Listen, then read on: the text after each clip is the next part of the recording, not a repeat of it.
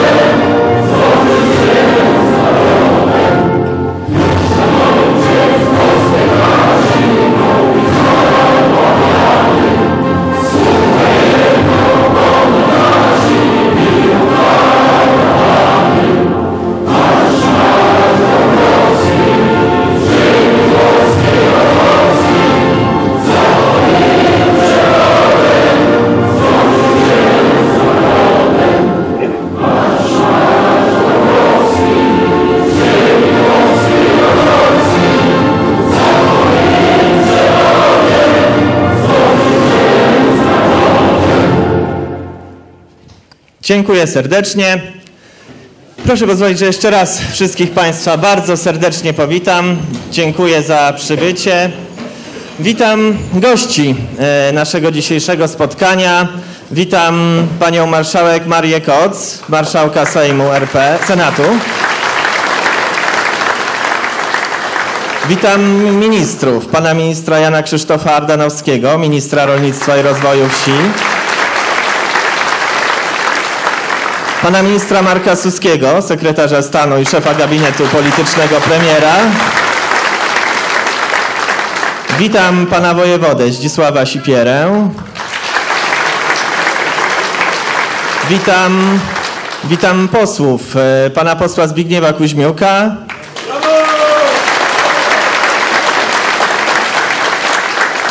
Witam posła i ministra Wojciecha Skurkiewicza. Bardzo serdecznie witam panią poseł Annę Kwiecień.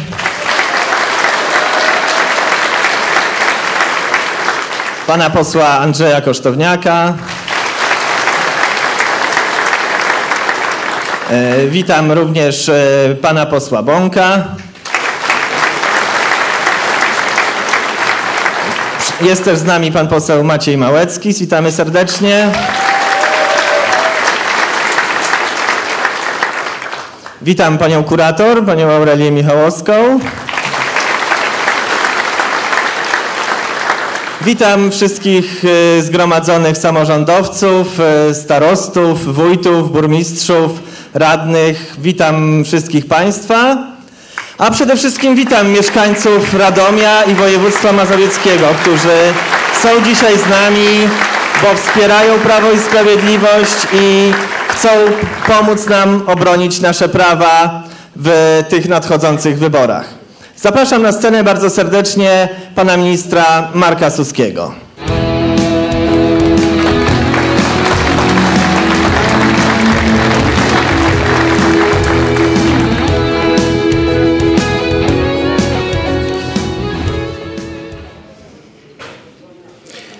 Szanowni Państwo,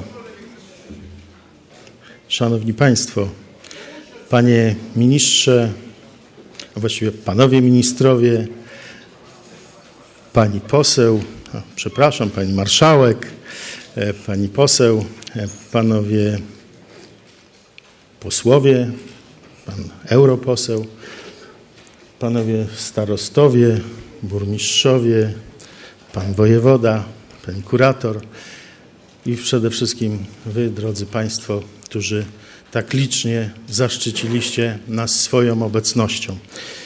Szanowni Państwo, witam wszystkich bardzo serdecznie na gościnnej ziemi radomskiej.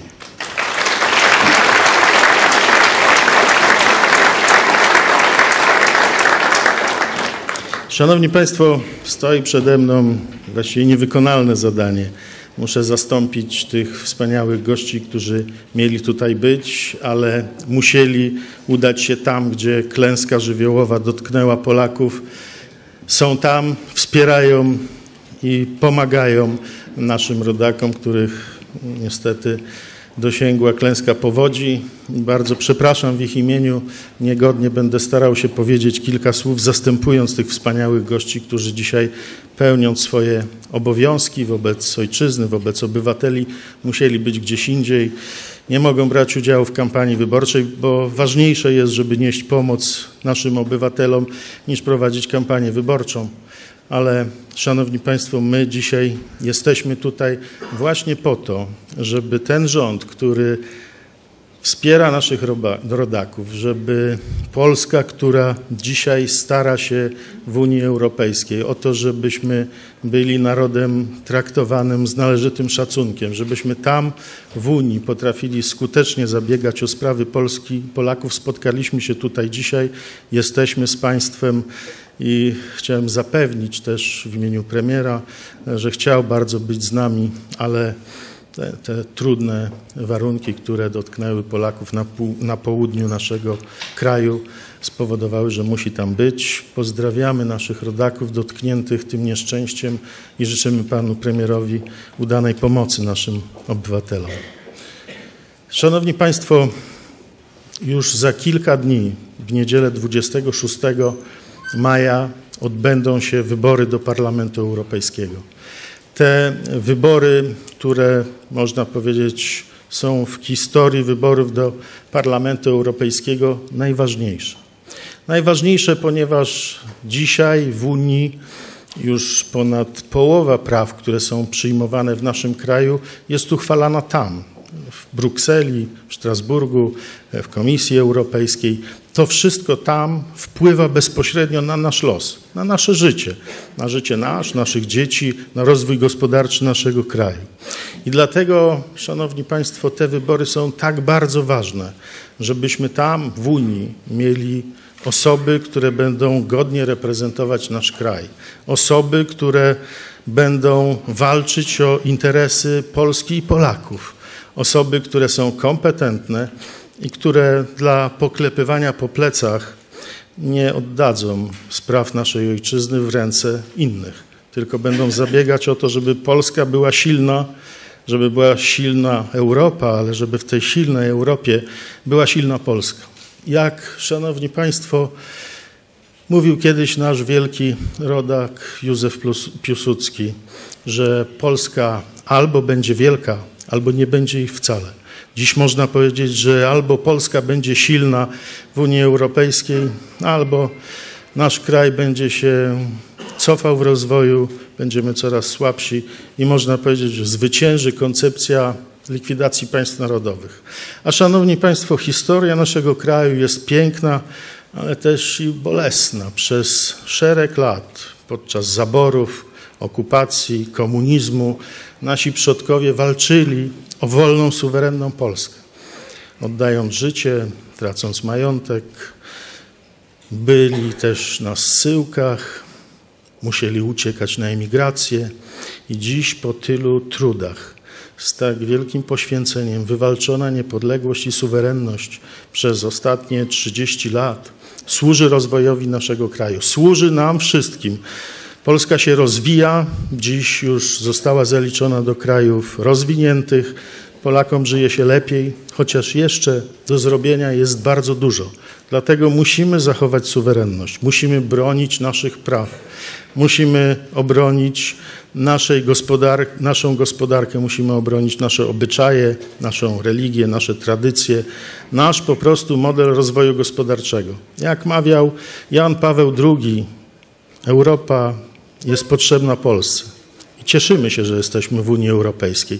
Ale Jan Paweł II mówił też, że Polska jest potrzebna Europie, bo poza względami ekonomicznymi, poza tym pragmatyzmem zdobywania środków europejskich, budowy infrastruktury, dróg, rozwoju różnych przedsiębiorstw, potrzebna jest też myśl ideologiczna, oparcie na fundamencie. A Jan Paweł II mówił, że Europa jest oparta na fundamencie chrześcijańskim.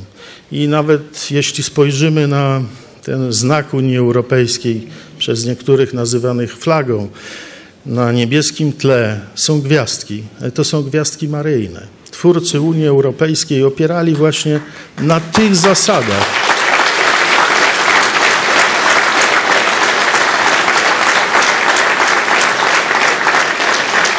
I przede wszystkim Unia Europejska była budowana na wartościach. Oczywiście na również sukcesie ekonomicznym, na wolnym przepływie kapitału, wolnym przepływie osób. Z tego wszystkiego się cieszymy, ale przede wszystkim właśnie na fundamencie tym, o którym mówiłem, ideologicznym, na fundamencie takim, które zbudowały Europę.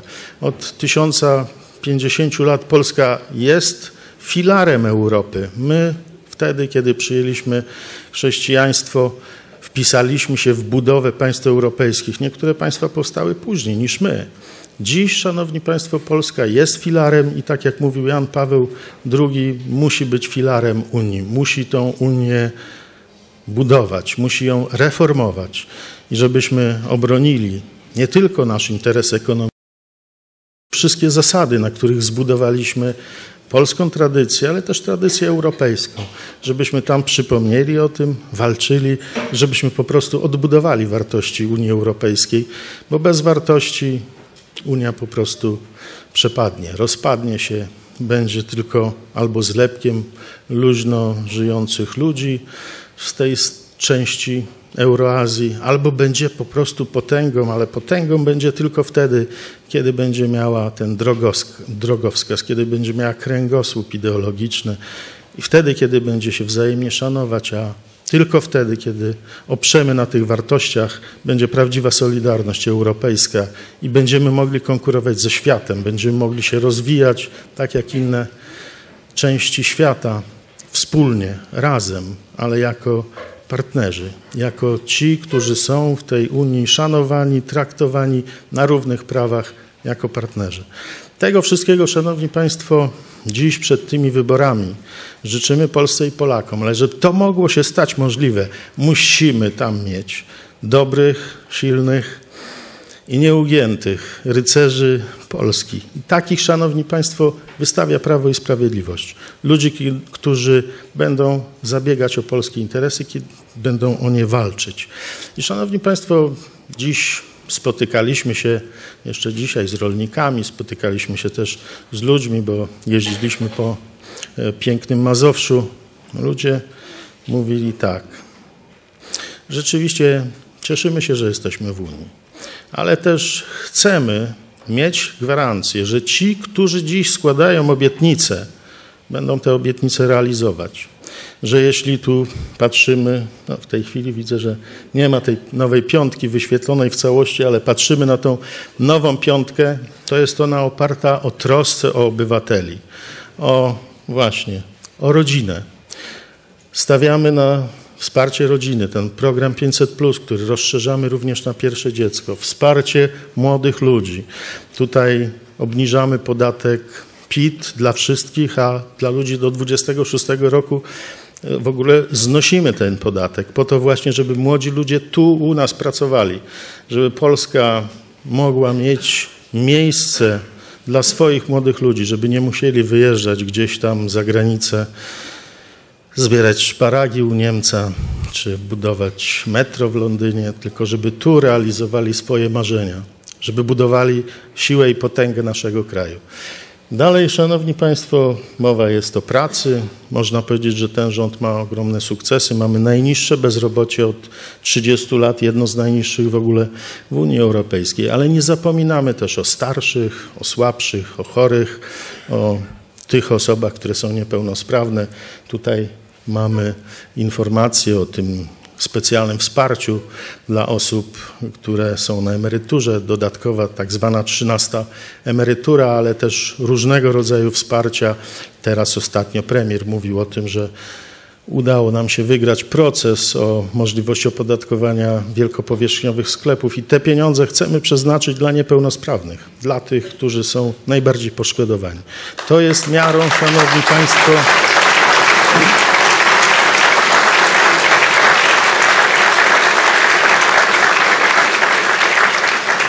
miarą troski o każdego człowieka, o nasze dzieci, ale też o tych, którzy pracują, żeby mogli rozwijać swoje firmy, żeby mogli lepiej zarabiać i o tych starszych, którzy już przeszli na emeryturę, ale również tych, którzy nie ze swojej winy nie mogą pracować, nie mogą zarabiać, bo są niepełnosprawni. Tych wszystkich rząd Prawa i Sprawiedliwości wspiera.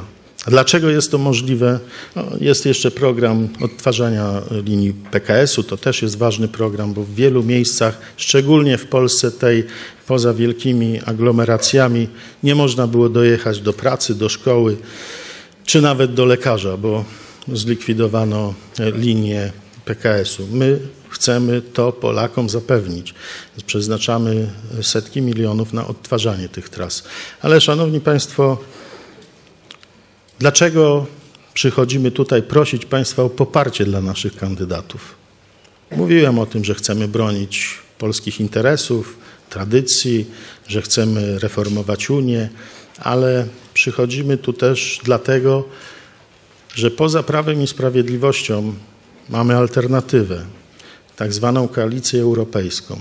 I jeśli spojrzymy na to, co proponuje Prawo i Sprawiedliwość, chociażby tą piątkę czy piątkę plus jeszcze dodatkowe rzeczy. Jeśli spojrzymy na naszych konkurentów, niektórzy mówią przeciwników, totalną opozycję, to jakie oni mają propozycje dla Polski i Polaków? Można powiedzieć, że niedawno Grupiński odsłonił plan, co tak naprawdę oni zrobią po wyborach. Bo przed wyborami, wiemy, oni potrafią pięknie mówić, mają przewagę w mediach, mają media, które nawet jeśli coś im się nie uda, to ich zawsze pochwalą, a winę zwalą na Prawo i Sprawiedliwość. Ale Grupiński zdradził, że po wyborach to będzie zupełnie inaczej. Dzisiaj obiecujemy Polakom Złote Góry, że będziemy o nich dbać, tak jak w tej deklaracji krakowskiej, że będą dbać o polską tradycję, religię, kulturę, o polskie firmy. No, a po wyborach to zrobimy zupełnie inaczej. Szli tam pod hasłami praw dla gejów, może adopcji, bo też tam były takie hasła adopcji, może nawet w tej piątce znajdzie się zgoda na zabieranie polskich dzieci przez Jugendamty, może też będzie w tej piątce podwyższenie wieku emerytalnego, czy nawet likwidacja programu 500, żeby w Polsce nie opłacało się żyć, żeby Polacy byli zmuszeni jeździć na roboty, no do tych choćby szparagów, które trzeba tam zbierać, bo dziś Niemcy mówią, że nie ma kto tego robić. I szanowni Państwo, mamy do wyboru pomiędzy dwiema koncepcjami Polski. Pomiędzy prawem i sprawiedliwością, które dba o Polskę i Polaków, który nie daje Polski okradać różnym mafiom VAT-owskim, a odebrane złodziejom pieniądze przeznacza dla dzieci niepełnosprawnych i na rozwój gospodarki, infrastruktury. I mamy do wyboru drugą koalicję, która tak naprawdę obiecuje różne rzeczy, załatwi 100 miliardów więcej niż my, ale jak się dowiadujemy, co tak naprawdę nam szykują, to aż włos na głowie się jeży. Będzie po prostu zmiana moralności, będzie zmiana wartości, będzie po prostu oddanie Polski tak naprawdę za parę etatów w Unii Europejskiej, poklepanie po plecach i mówienie, dobra Polska, bo się daje okradać. Dziś Polska się okradać nie daje i jestem...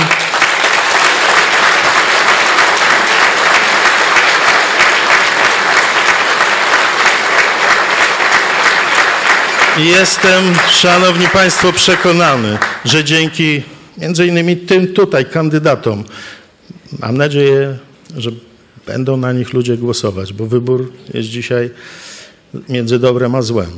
Będą Polski bronić i Polska nie da się okradać. Będziemy po prostu tam mieć swoich przedstawicieli, którzy będą walczyć o nasze interesy i jestem przekonany, że będą to robić ze skutecznością, bo już pokazali, że potrafią.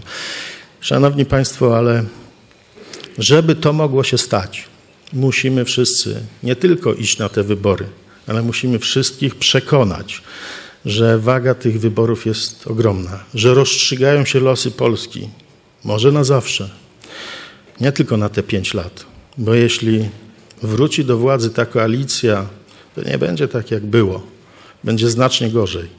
A jeśli oni będą tam w Unii Europejskiej, to odbieranie dzieci polskich przez Jugend tamty może stać się prawem. To karanie Polski, nakładanie na nas różnych restrykcji może się stać codziennością. Odbieranie pieniędzy na polskie rolnictwo, bo taki pomysł się pojawił. Przymusowa relokacja uchodźców, bo na to zgodziła się Ewa Kopacz. No, Stąd nawet była kiedyś posłanką. Teraz się tu nie pokazuje, bo się pewnie wstydzi. Ale szanowni państwo, mamy.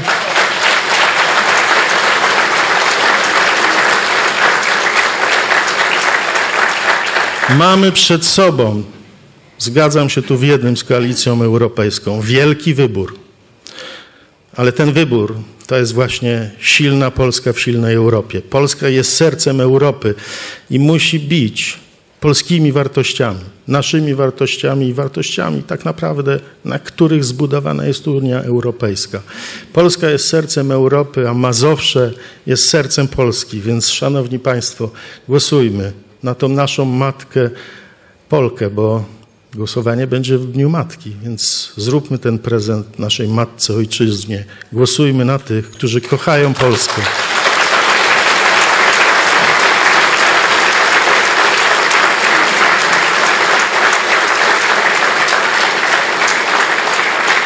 na tych, którzy nigdy Polski nie zdradzą i na tych, którzy potrafią walczyć o nasze interesy, nawet z wieloma przeciwnościami. Szanowni Państwo, mamy tutaj jeszcze naszych wspaniałych kandydatów. Oni będą jeszcze mówić o różnych szczegółach. Pan minister Ardanowski powie o tym, dlaczego warto iść na te wybory, żeby wspierać polskie rolnictwo. Ale szanowni Państwo, waga tych wyborów jest wielka i nie wystarczy, żebyśmy sami poszli. Musimy wszystkich przekonać, żeby poszli na te wybory, bo tylko duża frekwencja da nam siłę, żebyśmy mogli powiedzieć, że miliony Polaków popierają to, żebyśmy byli silnym państwem, suwerennym i państwem, które będzie nie tylko trwało, ale budowało swoje, swoją siłę w Unii Europejskiej. W przeciwnym razie krytycy powiedzą, Polska to już przeżytek. Tak naprawdę w Polsce jest niewielu patriotów, więc po co Polska ma trwać? Kochani, idźmy na te wybory. Ratujmy Polskę. Ratujmy przed tym wszystkim, co nam chce zafundować koalicja europejska. A my dajemy słowo, my słowa dotrzymujemy, że my będziemy o Polskę walczyć i nigdy się nie poddamy. Dziękuję bardzo.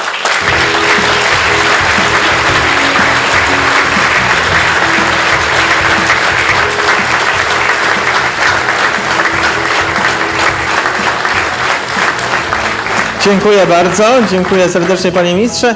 A na scenę chciałbym zaprosić e, pana ministra Ardanowskiego, ministra rolnictwa i rozwoju wsi.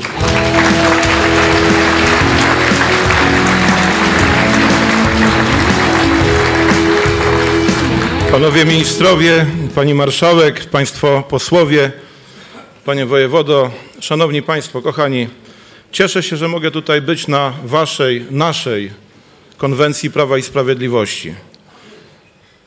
I chcę tu kilka słów powiedzieć o wadze, randze tych wyborów dla polskiej prowincji, dla polskiej wsi, dla polskich małych miejscowości.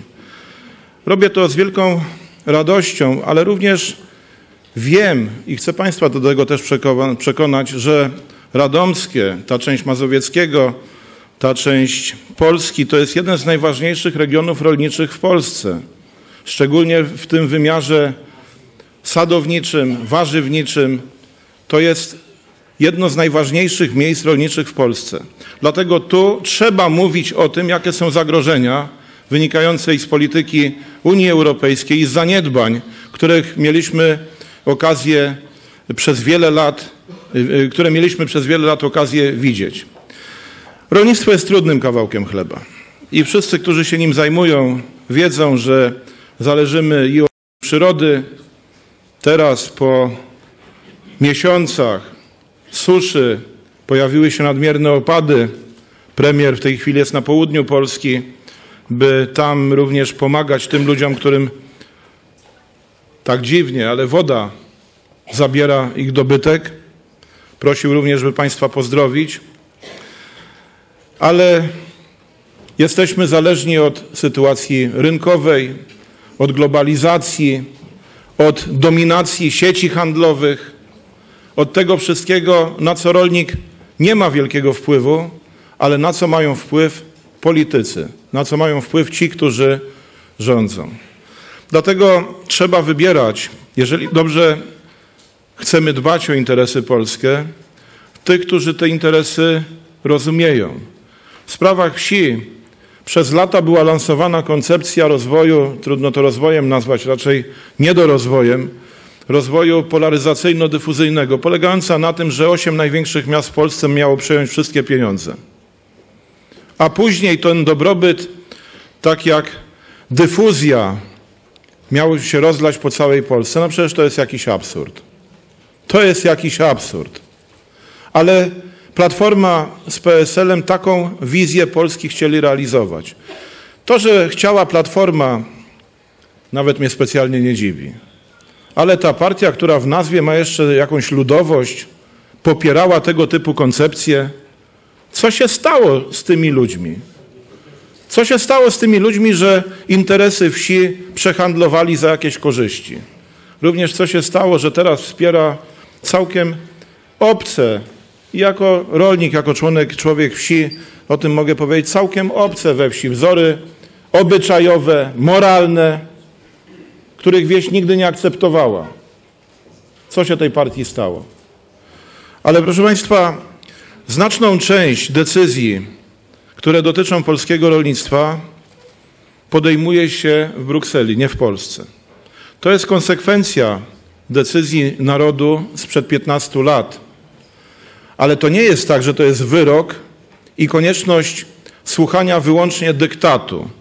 Mamy tam istotną, ważną rolę do odegrania. W tym trójpodziale władzy unijnej Rada, Komisja i Parlament, wszyscy polscy przedstawiciele.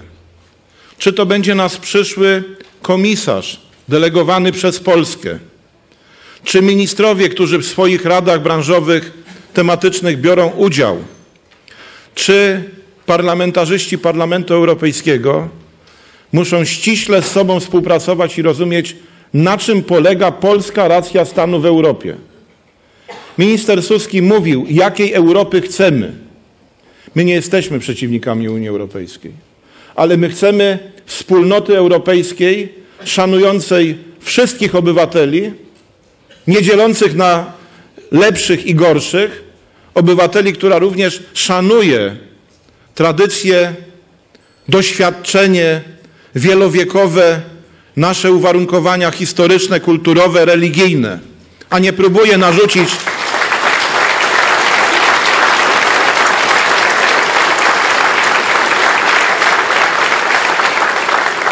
a nie próbuje narzucić jakieś wzorce, których my nie akceptujemy, szczególnie ze sztandarów LBGT. Proszę Państwa, żaden minister, jeżdżę do tej Brukseli, nie poradzi sobie, jeżeli nie będzie miał silnego wsparcia ze strony parlamentarzystów, naszych parlamentarzystów. Jeżeli nie oni również nie będą rozumieli, czego od nich w parlamencie My, Polacy, oczekujemy. Ale samo zrozumienie to nie wszystko. Jest dobra współpraca ze Zbyszkiem Kuźmiukiem, z innymi parlamentarzystami, którzy tam w tej chwili y, przez lata nas reprezentowali, ale to jest za mało. Jest potrzebne, proszę Państwa, żeby ci parlamentarzyści rozumieli, jak powiedziałem, polską rację stanu, żeby byli odważni w prezentowaniu naszego punktu widzenia. Nie godzili się na poklepywanie po plecach, na sweet fotki robione tylko po to, żeby ładnie wyglądać, a interesy załatwiają bogatsi, ważniejsi, mocniejsi od nas. Nasi europarlamentarzyści muszą być ludźmi kompetentnymi, przygotowanymi i ci, których wystawia Prawo i Sprawiedliwość, takimi są. Są ludźmi kompetentnymi, przygotowanymi i odważnymi.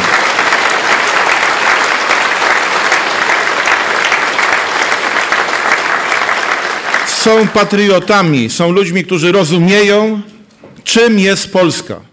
Rozumieją i głęboko w sercu i w swoich umysłach noszą miłość do naszej ojczyzny. Do tej ojczyzny, która jest złożona, trudna i jej historia jest złożona i trudna.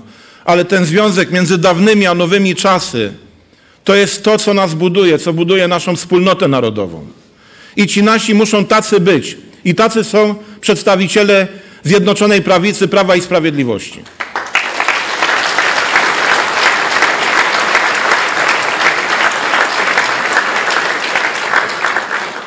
Dla mnie jest również ważne, żeby mieli silny mandat społeczny, żeby wiedzieli, a jak będą rozmawiali ze swoimi kolegami z innych krajów, żeby czuli i wiedzieli, że za nimi stoją miliony. Miliony, które na nich głosowały. Żeby mieli silny mandat społeczny, to daje również wielkie przełożenie w tych różnych grach, koalicjach, układach, które tam się toczą. A ilu na ciebie głosowało? A ile tych za plecami wyborców za tobą stoi? Dlatego jest tak ważne, żebyśmy 26 wszyscy poszli na wybory. To jest szalenie ważne w każdej grupie społecznej, ale może najbardziej, najbardziej wśród rolników i mieszkańców wsi. Do tej pory często ludzie mówili, no co mnie to obchodzi, no mnie wybór sołtysa może bardziej interesuje, niż gdzieś tam daleko w tej Brukseli. Żyjemy w świecie, że tam zapada bardzo wiele decyzji. I to, jacy tam są Polacy, czy sprzedajni, czy nieprzekupni, czy tacy, którzy się nie dają za poklepanie po plecach i zdjęcie wpuszczać w maliny. Od tego bardzo dużo zależy. Dlatego ten mandat społeczny, to ilość ludzi głosujących na kandydatów z Polski jest szalenie ważna. Dlatego nie wyobrażam sobie, nie wyobrażam sobie sytuacji, żeby ktoś, komu zależy na Polsce, kto kocha Polskę, kto dobrze jej życzy, żeby nie był na wyborach 26 maja. To jest nasza polska racja stanu, żeby ci nasi mieli za sobą poparcie milionów. Tego Państwu i sobie życzę.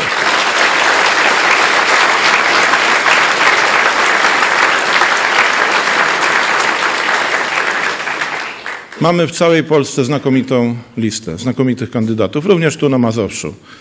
Jestem przekonany, że głos oddany na naszych kandydatów jest głosem wsparcia, głosem miłości, głosem bardzo ważnym dla przyszłości Polski.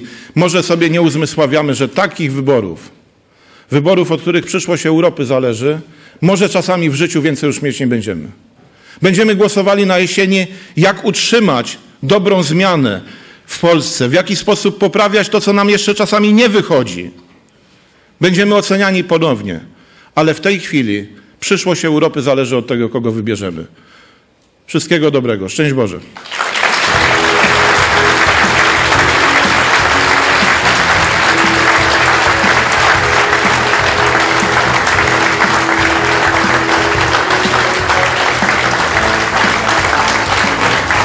Dziękuję bardzo, panie ministrze. A teraz czas, żeby oddać głos tym, którzy będą bohaterami tego głosowania 26 maja, w Dzień Matki, naszym kandydatom. Zapraszam na scenę w pierwszej kolejności panią marszałek Marię Koc.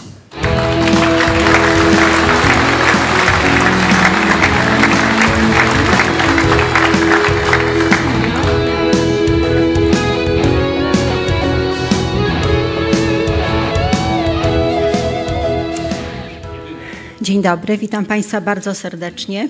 Szanowni Panowie Ministrowie, Państwo Parlamentarzyści, Państwo Samorządowcy, Szanowni Państwo. Sala wypełniona po brzegi, piękna frekwencja. Jest Państwa tutaj tak wielu. Widać ogromną mobilizację tutaj na Radomszczyźnie. Bardzo Państwu serdecznie za to dziękuję. Szanowni Państwo.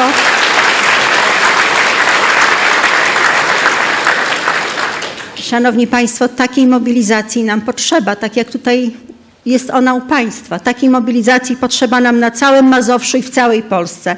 Ale Państwo dajecie wspaniały przykład. Naprawdę z całego serca dziękuję za to.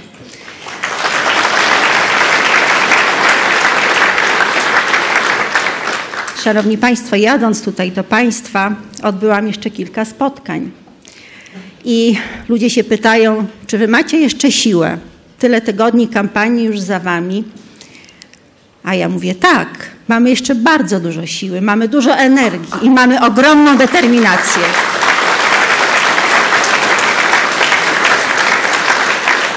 Jest w nas, Szanowni Państwo, mnóstwo determinacji, bo my wiemy, że my musimy wygrać te wybory.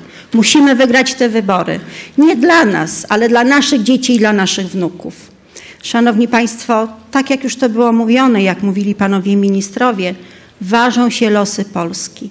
I naprawdę na wszystkich spotkaniach, które odbywamy, a jest ich tak wiele, bo to jest bardzo wypracowana przez nas kampania, ludzie zdają sobie z tego sprawę, że te wybory są ważne, bo to wybory do Parlamentu Europejskiego, ale tak naprawdę ważne są także dlatego, że ci, którzy te wybory wygrają, będą mieli dużo łatwiejszą drogę do tego, żeby wygrać wybory jesienne, a przecież one są dla Polski najważniejsze. Szanowni Państwo, teraz będziemy decydować o tym, kto będzie reprezentował Polskę w Parlamencie Europejskim. To oczywiście jest niezwykle istotne, bo w Parlamencie Europejskim muszą zasiadać tacy politycy, którzy będą dbali o interes Polski, którzy będą dbali o silną pozycję Polski tam właśnie w Unii Europejskiej, którzy będą zdecydowanym głosem upominać się o sprawy Polski, o dobry budżet, na przyszłą perspektywę finansową na lata 2021-2027. To jest niezwykle istotne, bo przecież, Szanowni Państwo, my tutaj żyjemy na Mazowszu. My wiemy doskonale, że ważą się losy Mazowsza, czy będzie mogło korzystać w pełni z Funduszu Spójności, czy też nie. Wiemy, że nie do końca dopełniła się ta procedura podziału, podziału statystycznego Mazowsza, czyli wyłączenia Warszawy z województwa mazowieckiego. To jest statystyczne wyłączenie, my tego jako obywatele nie odczujemy, ale na potrzeby Unii Europejskiej, na potrzeby przyszłego budżetu Unii Europejskiej, budżetu dla Mazowsza to ma bardzo duże znaczenie. Pamiętam, kiedy byłam radną Sejmiku Województwa Mazowieckiego, bo ja jestem z Mazowsza, tutaj mieszkam, stąd pochodzę, tu pracuję, działam społecznie, politycznie całe swoje życie. I pamiętam, że jak byłam radną Sejmiku Województwa Mazowieckiego, to w 2010 roku, już jesienią, mówiliśmy panu marszałkowi Adamowi Struzikowi i większości rządzącej, żeby przystąpili do procedury podziału e, statystycznego województwa mazowieckiego. Oczywiście nie spotkało się to z żadnym zrozumieniem. Państwo uważali, rządzący z PO, z PSL uważali, że jest to niepotrzebne. Pewnie myśleli, że będzie środków, tym więcej będzie można ich skierować na Warszawę. My wszyscy przez to tracimy, bo wiemy, że już w tej perspektywie, która trwa teraz, Mazowsze otrzymało dużo mniej środków niż mogłoby. A przecież Mazowsze poza Warszawą jest biednym regionem, tak naprawdę biedniejszym już niż Podlasie czy Lubelszczyzna, bo tamte regiony korzystają z programu rozwoju Polski Wschodniej. I znowu politycy Prawa i Sprawiedliwości, bodajże w roku 2009-2010 mówili o tym, żeby przynajmniej część województwa mazowieckiego włączyć do programu rozwoju Polski Wschodniej, ale nie było takiej woli politycznej. Więc teraz, Szanowni Państwo, ci parlamentarzyści, ci eurodeputowani, którzy będą zasiadali w Parlamencie Europejskim, muszą walczyć o sprawy polskie, ale muszą też w sposób szczególny, ci, którzy będą reprezentowali Mazowsze, zawalczyć o sprawy Mazowsza, zawalczyć o dobry budżet dla Mazowsza. A w grze jest 3 miliardy euro. To są bardzo duże pieniądze. A my wiemy, Szanowni Państwo, że potrzeb jest bardzo dużo. Każdy z nas, kto na Mazowszu mieszka, wie, że są to potrzeby takie naprawdę cywilizacyjne, bo ciągle brakuje nam pieniędzy na modernizację dróg, tych gminnych, tych powiatowych. Patrzę na pana wojewodę, bo teraz się rozstrzyga przecież e, program Fundusz Dróg Samorządowych Pewnie już niedługo lista się ukaże, ale pan wojewoda mówił, że szanowni państwo, no mamy 620 milionów złotych do rozdysponowania, ale wniosków wpłynęło na miliard trzysta. Potrzeb jest bardzo, bardzo dużo i tu środki unijne na drogi lokalne, na kanalizację, na wodociągi, na takie cywilizacyjne e, inwestycje bardzo, bardzo by się przydały i o to trzeba będzie walczyć. I jestem przekonana, że eurodeputowani z Prawa i Sprawiedliwości odważnie będą o takie sprawy walczyć. Szanowni Państwo, ale to nie tylko budżet, to nie tylko silna pozycja Polski w Unii Europejskiej, to po prostu przyszłość Polski i te wybory, które odbędą się na jesieni. Bo wiadomą jest rzeczą, że ta wygrana teraz, 26 maja, pomoże wygrać wybory również jesienią 2019 roku. A my chcemy te wybory wygrać. Jako Prawo i Sprawiedliwość chcemy wygrać te wybory, Szanowni Państwo, bo my zmieniamy Polskę na dobre. My zmieniamy Polskę na lepsze, bo nareszcie Polska ma dobrego gospodarza i to trzeba powiedzieć i mówić na każdym spotkaniu, że Polska ma nareszcie dobrego gospodarza.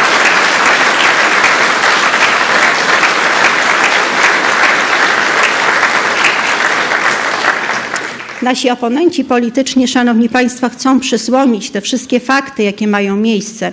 Oni nie chcą rozmawiać o budżecie, o uszczelnieniu systemu podatkowego. Oni nie chcą mówić o wzroście gospodarczym. Nie chcą, bo musieliby przyznać, że oni są do niczego, że tak naprawdę wiedzą, jak rządzić Polską tylko politycy z Prawa i Sprawiedliwości. Dlatego oni wpuszczają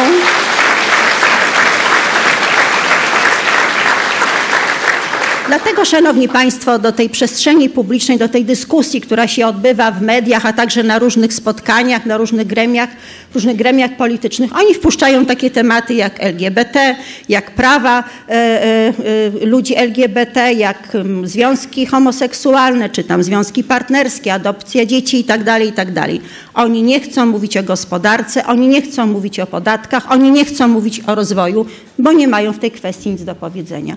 Taka prawda, Szanowni Państwo. Przez 8 lat poprzednich rządów co takiego dobrego zrobili? Można by się tutaj było zapytać. A co się wydarzyło przez te niespełna 4 lata, kiedy rządzi Prawo i Sprawiedliwość? Co się wydarzyło? Zobaczcie Państwo, mamy najwyższy w Europie wzrost gospodarczy, czwarty wynik na świecie, 5,1% PKB, taki wzrost za ubiegły rok. To jest gigantyczny sukces, Szanowni Państwo, gigantyczny sukces.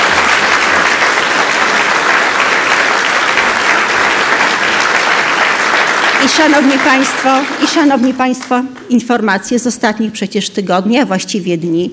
Kolejne instytucje, Komisja Europejska i Międzynarodowy Fundusz Walutowy, a teraz OECD podają prognozy wzrostu gospodarczego na ten rok. I jakie one są? Podniesiono nam te prognozy do 4,2%. I to jest wielki sukces. I tu wielkie brawa dla rządu Prawa i Sprawiedliwości. I wielkie brawa dla naszego premiera, pana Mateusza Morawieckiego. Szanowni Państwo, nasi oponenci polityczni lubią mówić, no tak, ale jest koniunktura gospodarcza dobra, to cóż to takiego wzrost gospodarczy? No dobrze, ale z tej koniunktury gospodarczej dobrej trzeba też umieć korzystać.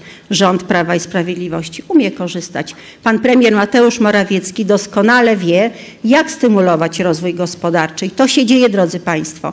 I oprócz tego jest też uszczelnienie systemu podatkowego. My słyszeliśmy, jak pani minister Hojna-Duch, która chyba nawet jeszcze dzisiaj przed komisją sejmową do spraw wyłudzeń VAT-u również składała zeznania, ale poprzednim razem też mówiła o tym, że jej zdaniem z systemu podatkowego zostało wyłudzone zarządów PO-PSL 250 miliardów złotych. No to drodzy Państwo, jacy to byli gospodarze, którzy pozwolili na taką kradzież, na taką kradzież, przecież ta kradzież dotknęła nas wszystkich obywateli Polski. A rząd ma tak rządzić, żeby pomnażać potencjał Polski, żeby pomnażać nasze dobra, bo Polska jest wielkim dziedzictwem naszym wspólnym, ale to jest dziedzictwo, które jest nam dane na chwilę. My je mamy pomnożone, ubogacone, przekazać następnym pokoleniom, naszym dzieciom i naszym wnukom. Także, Szanowni Państwo,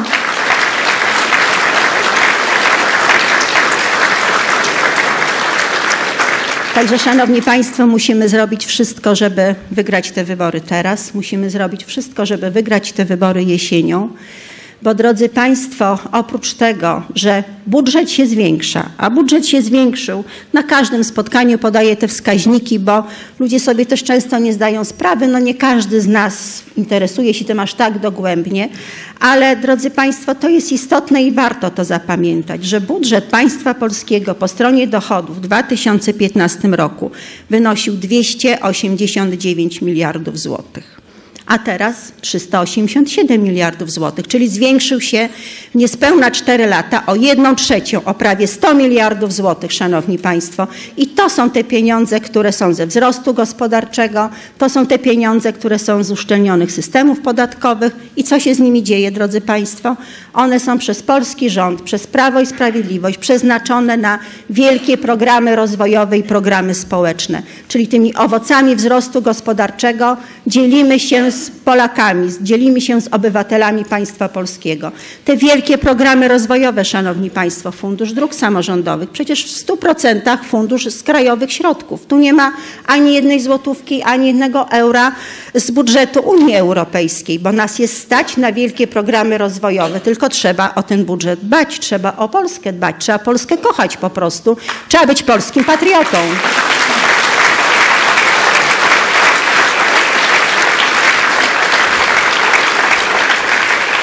Bo Polska, Szanowni Państwo, ma ogromny potencjał. Ogromny potencjał w ludziach przede wszystkim, bo Polacy są pracowici, zapobiegliwi, są kreatywni, chętnie się uczą. Naprawdę jesteśmy wspaniałym narodem.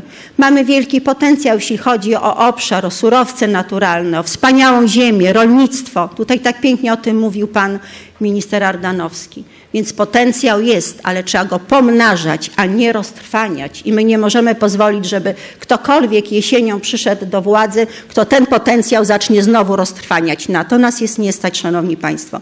Więc dlatego musimy jako Prawo i Sprawiedliwość, Sprawiedliwość wygrać te wybory i dalej po prostu zmieniać Polskę na dobre.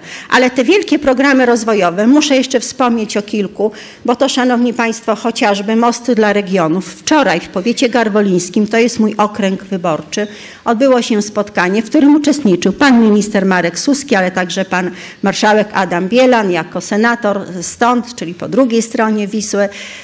I szanowni państwo, bardzo dobra wiadomość dla nas wszystkich, bo Wiecie Państwo, że w ramach programu Mosty dla Regionów mają powstać przeprawy na największych, no nie tylko na tych mniejszych również, ale przede wszystkim na tych dużych rzekach w Polsce. Tam, gdzie e, w ciągach dróg samorządowych, tam, gdzie po prostu te przeprawy są bardzo, bardzo potrzebne. I taki most powstanie jako pierwszy most na Wiśle w ramach tego e, programu. Most, który połączy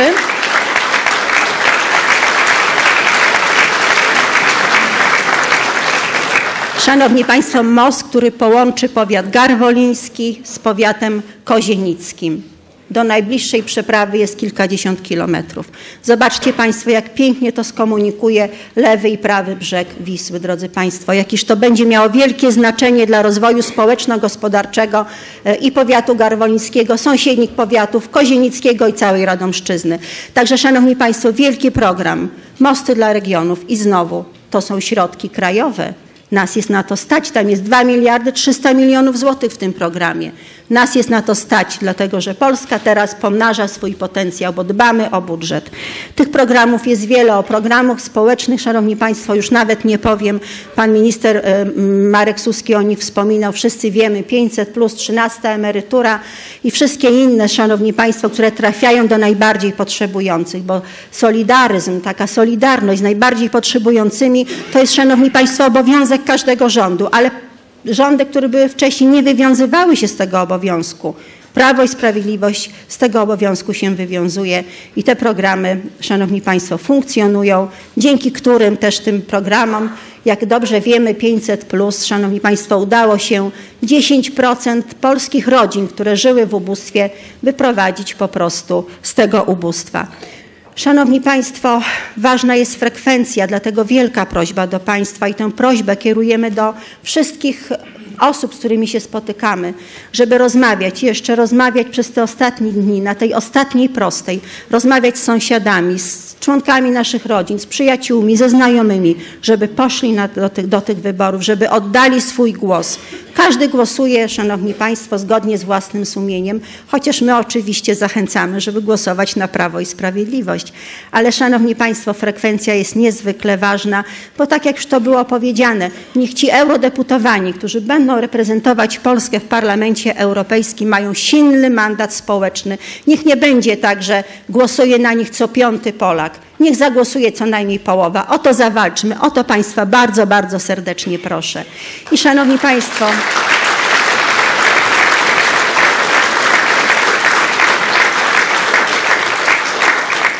I Szanowni Państwo, trochę też nawiążę do tych słów pana ministra Marka Suskiego. 26 maja jest Dzień Matki. Polska jest naszą matką.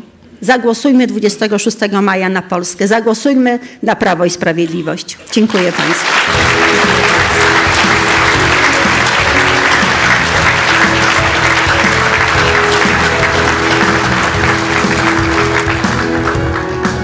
Dziękuję bardzo Pani Marszałek, a zapraszam na scenę eurodeputowanego, wcześniej posła do Sejmu RP, pana doktora Zbigniewa Kuźmiuka.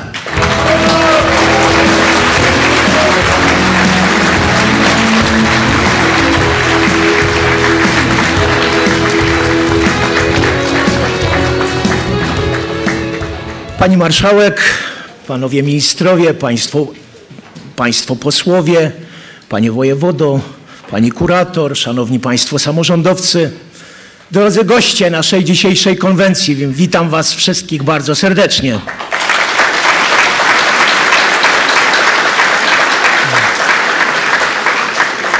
Proszę Państwa, jesteśmy na ostatniej prostej do wyborów 26 maja. Dużo już tu było powiedziane o, o, tym, dlaczego do tych wyborów powinniśmy pójść. Ja może szybciutko w paru punktach spróbuję to w swoisty sposób podsumować. Po pierwsze, proszę Państwa, dlatego, że w instytucjach europejskich powstaje przynajmniej 70% prawa, które później polski Sejm i polski Senat musi wprowadzać do polskiego prawodawstwa. A więc dobrze byłoby, żebyśmy posłali tam ludzi, którzy będą pilnowali polskich spraw i żeby to prawo było korzystne także dla naszej ojczyzny. Po drugie, proszę Państwa, jest szansa na przebudowę instytucji europejskich, w tym Parlamentu Europejskiego. Jak Państwo obserwują rzeczywistość europejską, to widać, że wieje wiatr w prawą stronę. Widać to po wyborach w Polsce, na Węgrzech, w Austrii, we Włoszech, w Hiszpanii, więc jest szansa że ludzi o poglądach prawicowych będzie w Parlamencie Europejskim więcej, a wtedy te wszystkie ideologie, które tutaj były odmieniane przez wszystkie przypadki, pójdą w kąt. Dobrze by było, żeby właśnie tak się stało. Po trzecie,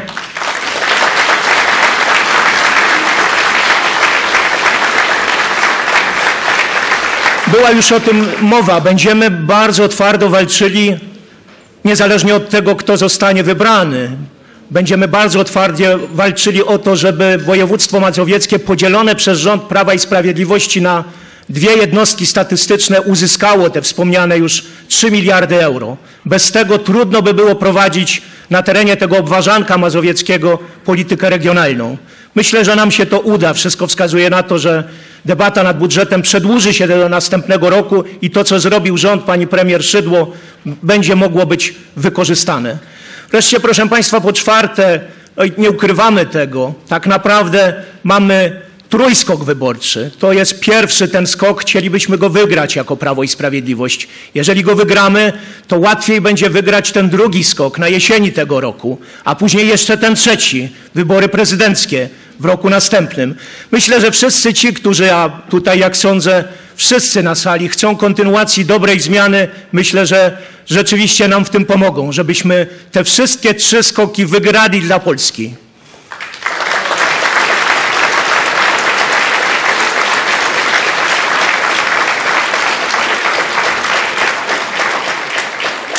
Proszę Państwa, ponad 15 lat temu podjęliśmy taką decyzję cywilizacyjną. Mam na myśli ref, referendum 2003 roku.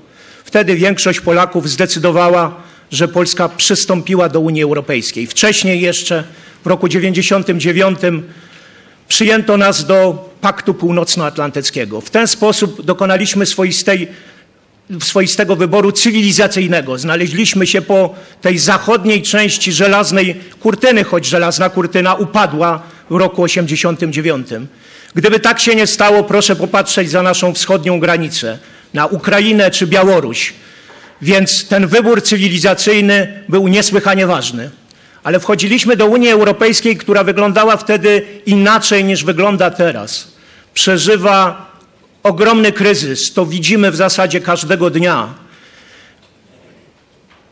Rezultatem tego kryzysu jest wyjście największej, czy może drugiej co do wielkości gospodarki unijnej, Wielkiej Brytanii. Dokładnie nie wiemy, jak się to potoczy, ale wszystko wskazuje na to, że decyzja Brytyjczyków sprzed trzech lat zostanie zaakceptowana. Unię Europejską toczą kolejne kryzysy. Kryzys imigracyjny, kryzys strefy euro i tak mógłbym wymieniać. A więc Polacy, kandydaci do Parlamentu Europejskiego idą z planem reformy Unii Europejskiej. On został upubliczniony, już ma 12 punktów, nie mamy czasu, żeby je zaprezentować. Ale proszę Państwa, powiem o paru rzeczach najważniejszych, tak bardzo skrótowo.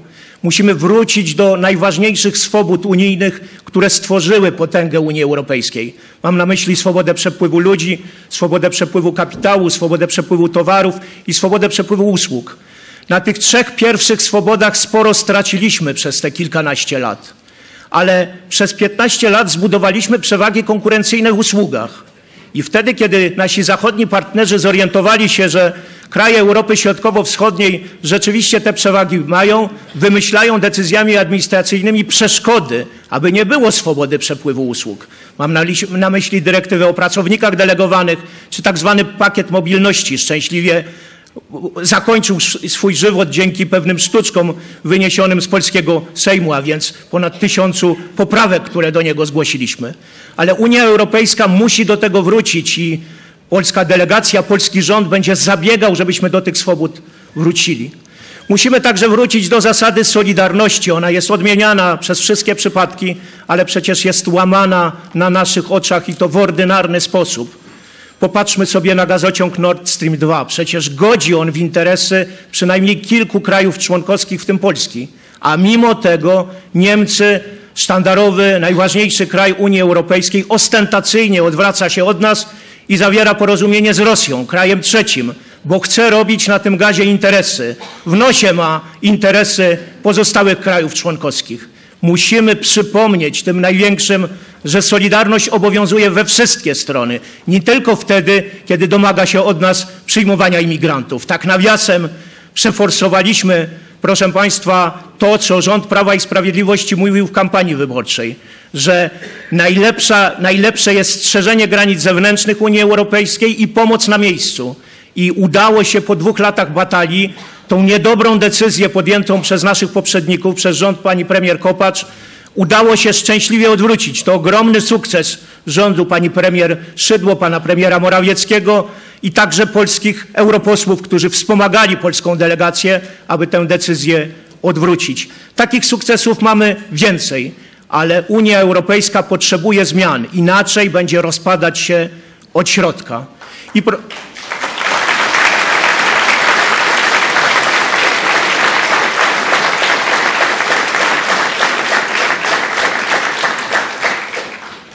Proszę Państwa, jestem Państwa reprezentantem w obecnym Parlamencie Europejskim.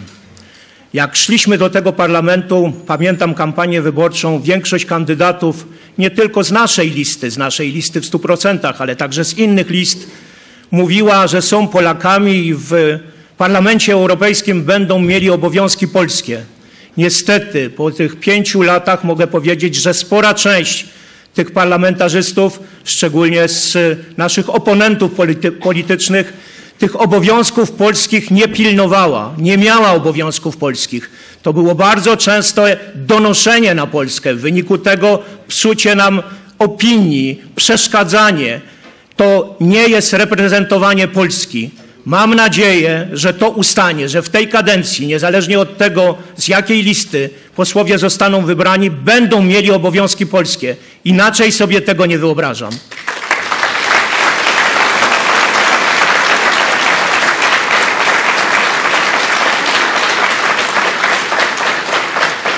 Nie ma nas tutaj wszystkich, proszę Państwa, kandydatów, ale myślę, że możemy dać gwarancję, że niezależnie od tego, kto z tej listy Prawa i Sprawiedliwości zostanie wybrany, tak będzie rozumiał swoją misję w Parlamencie Europejskim. Zwyciężymy!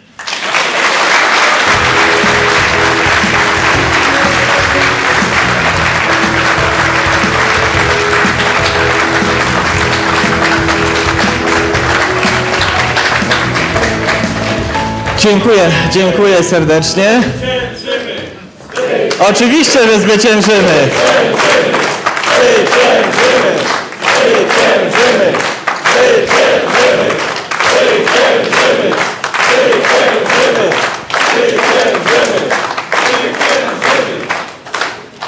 Myślę, że to jest jasne. Pytaniem pozostaje tylko skala tego zwycięstwa. Dlatego liczę, że wszyscy zagłosujemy na Prawo i Sprawiedliwość. A tymczasem na scenę zapraszam pana posła, byłego wiceministra Skarbu Państwa, Macieja Małeckiego.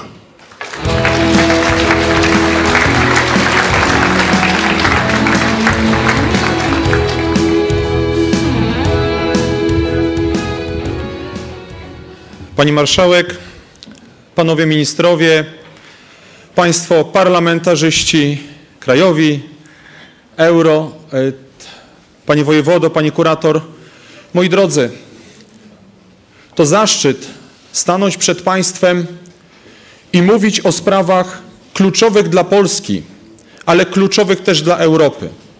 I to nie na najbliższe pięć lat, ale na okres znacznie dłuższy. Polska potrzebuje bardzo silnej reprezentacji w Brukseli. Polska potrzebuje silnego głosu w Parlamencie Europejskim. I Europa potrzebuje też silnego polskiego głosu. Jeżeli mówimy o kryzysie, w jakim znalazła się Unia Europejska,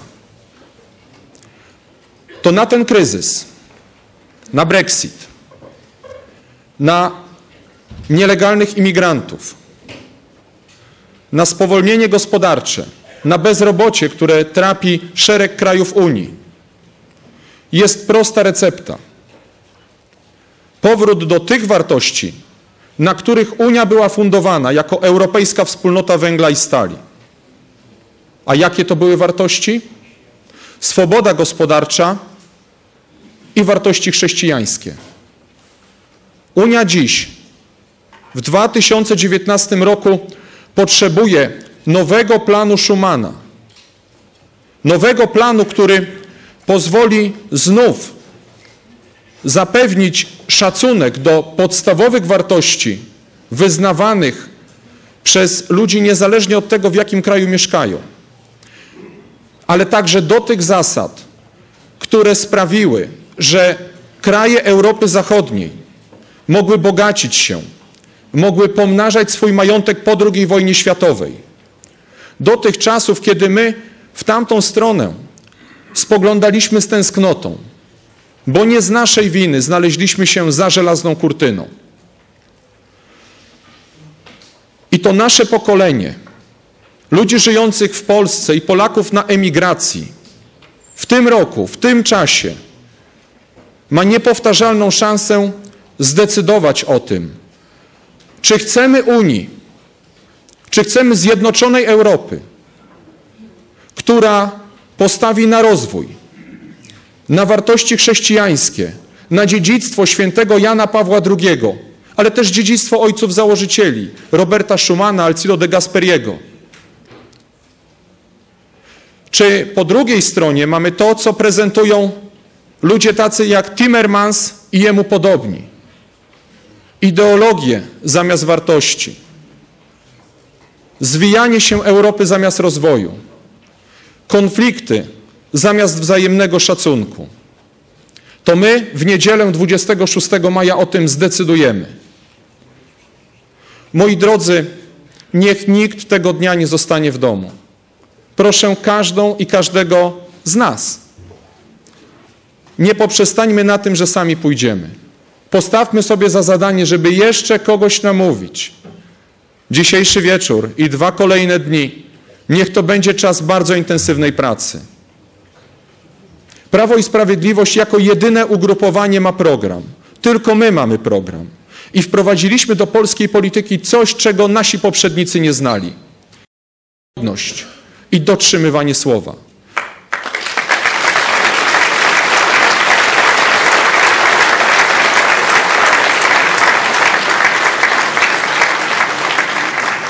Bo jeśli Polacy na coś się umówią z przedstawicielami Prawa i Sprawiedliwości, to mają gwarancję, dziś już wiedzą, że ta obietnica będzie dotrzymana i tak samo będzie w Brukseli, tak samo będzie przy reprezentowaniu Polski na arenie międzynarodowej. Drodzy Państwo, warto powiedzieć o jednej rzeczy. Jaki będzie skutek mocnego zwycięstwa Prawa i Sprawiedliwości i wprowadzenia przez nas silnej reprezentacji? A jaki byłby skutek, jeśli nasi oponenci uzyskają te mandaty? Silna reprezentacja Prawa i Sprawiedliwości w, Bruk w Brukseli to jest jeden klub, jeden program i jeden lider Jarosław Kaczyński. Taką gwarancję Polacy mają. A co jest po drugiej stronie? Zlepek ugrupowań, które są sprzeczne ze sobą, których łączy jedna rzecz. Pęd do władzy, pęd do stanowisk. Jeśli wygra koalicja europejska, zresztą nawet jeśli te mandaty, które zdobędą, czym się to skończy? PSL z Platformą pójdą do jednej frakcji, Nowoczesna pójdzie do drugiej frakcji, SLD do trzeciej, Zieloni do czwartej. Czy będą współpracować tam dla Polski? Nie. Skoczą przeciwko sobie w ramach tych walk frakcyjnych. Polska z tego nic nie będzie miała. Przypilnujmy, żeby tak nie było. I jeszcze jedna rzecz. Jeszcze jedna rzecz bardzo ważna. Głos na Prawo i Sprawiedliwość to jest głos na wartości, na ten sam program. I teraz to zdanie kieruję szczególnie do przedstawicieli polskiej wsi na tej konwencji i na, do tych, którzy oglądają nas za pośrednictwem mediów. Głos na PSL w tych wyborach w koalicji europejskiej wcale nie oznacza tego, że wejdzie kandydat PSL-u. Głos na PSL może oznaczać, że wejdzie ktoś, kto jest za adopcją dzieci przez homoseksualistów, za legalizacją małżeństw homoseksualnych, za likwidacją KRUS-u. Warto o tym wiedzieć. Moi drodzy, 26 maja, dzień decydujący dla przyszłości Polski, dla przyszłości Europy. Strzelmy mocną polską bramkę tego dnia. Poprawmy drugim golem na jesieni, a w przyszłym roku zwycięstwem Andrzeja Dudy zakończymy ten mecz bezdyskusyjnym 3-0. 3-0 dla Polski. Dziękuję.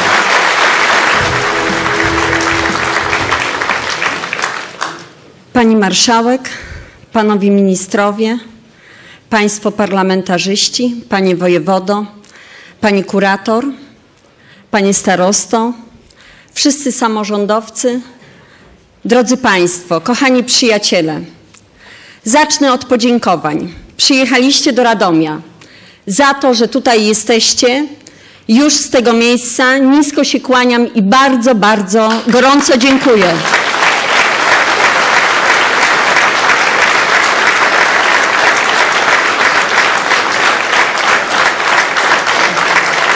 Kochani,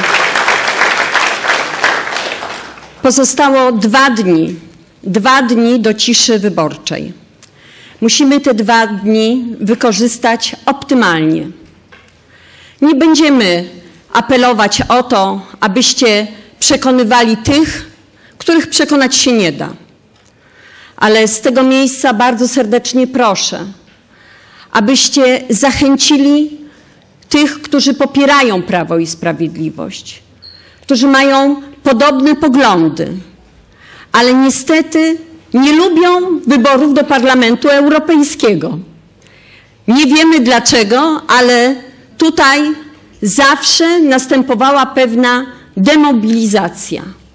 Ale te wybory są wyborami najważniejszymi. Myślę, że na miarę 80, wyborów 89 roku.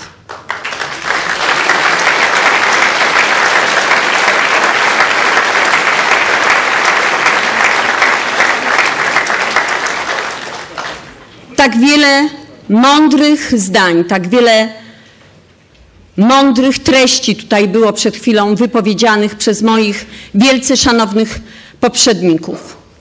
Ja powiem jedną rzecz, którą dostrzegam w wyniku tych 15 lat doszło do, a szczególnie w tych y, ostatnich 8 latach, wtedy kiedy rządzili nasi poprzednicy, doszło w naszym kraju, w naszym państwie do ogromnej straty.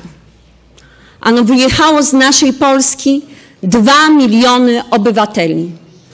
2 miliony młodych, kreatywnych, pracowitych, doskonałych Polaków.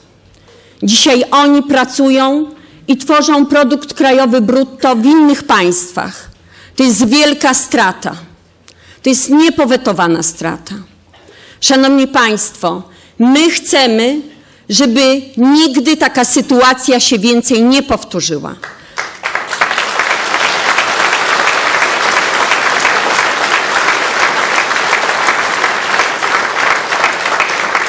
My pragniemy, aby Polska na tyle się bogaciła, aby Polacy powrócili do swojej ojczyzny, aby tutaj pracowali.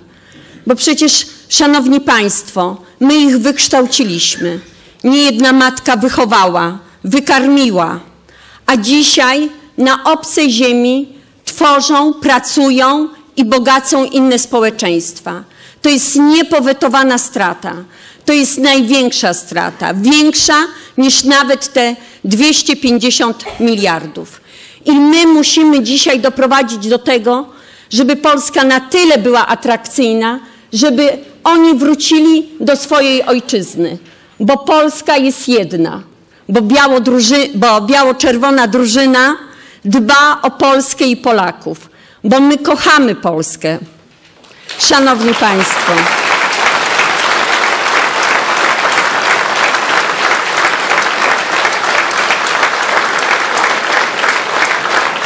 Obiec obiecałam sobie, że złożę na początku pewną obietnicę, o której zapomniałam.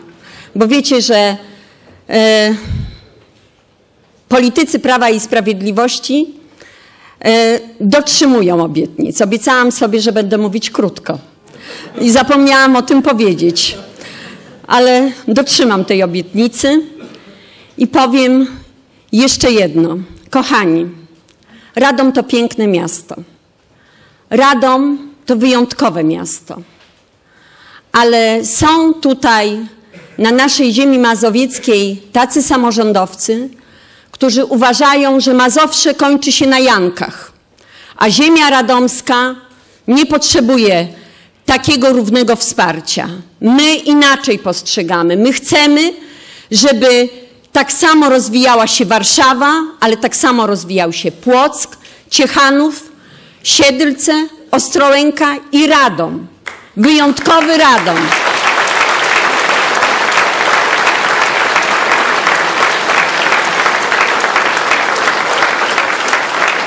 To dlatego zawalczyliśmy jako biało-czerwona drużyna o lotnisko w Radomiu. I proszę Państwa, już za dwa lata stąd będziemy wyjeżdżać, wylatywać na wakacje będziemy obsługiwać co najmniej 3 miliony Polaków, którzy będą chcieli wypoczywać i będą chcieli podróżować do innych państw. Szanowni Państwo, to my pierwszy raz zagwarantowaliśmy, że w budżecie państwa pojawiły się środki na bardzo ważną drogę, jaką jest Wojska Polskiego. To Prawo i Sprawiedliwość doprowadziło, że w Radomiu Proszę Państwa, jest uruchomiony kierunek lekarski. Staramy się, pracujemy na rzecz nie tylko całej Polski, ale także regionu radomskiego i samego Radomia. I gwarantujemy,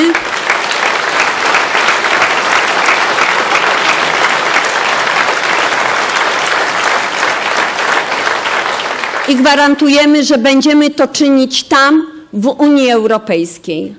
Unia Europejska przede wszystkim potrzebuje, moim zdaniem, nie tylko powrotu do tych wartości, o których tutaj było mówione. Unia Europejska potrzebuje po prostu zdrowego rozsądku, proszę Państwa. Zdrowego rozsądku.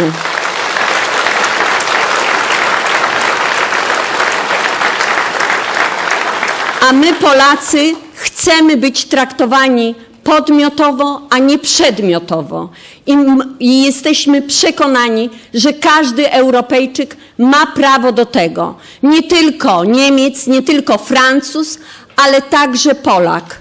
Mamy prawo do tego, aby czuć się traktowanym podmiotowo w Unii Europejskiej. Jesteśmy dla tej Unii wielką wartością. To nie jest tak, że Unia komukolwiek cokolwiek za darmo daje. Nie ma czegoś takiego, proszę Państwa. Jeśli do Polski wpływają środki finansowe, to proszę mi wierzyć, to jest rekompensata. Rekompensata za te cztery wartości, jakie są realizowane w Unii Europejskiej. Wolny przepływ kapitału, ludzi, finansów i usług. I proszę mi wierzyć, że nie powinniśmy mieć żadnych z tego tytułu kompleksów. Tak jak powiedziałam, to jest rekompensata za to, że tutaj firmy zagraniczne mogą na takich samych warunkach jak firmy polskie funkcjonować i się rozwijać. I szanowni Państwo, już kończę definitywnie. 26 maja idziemy do wyborów. Namawiamy przyjaciół, znajomych, rodzinę, bierzemy telefony, wysyłamy SMS-y. Proszę Państwa, zachęcamy do oddania głosu, bo po prostu musimy zwyciężyć. Zwyciężymy!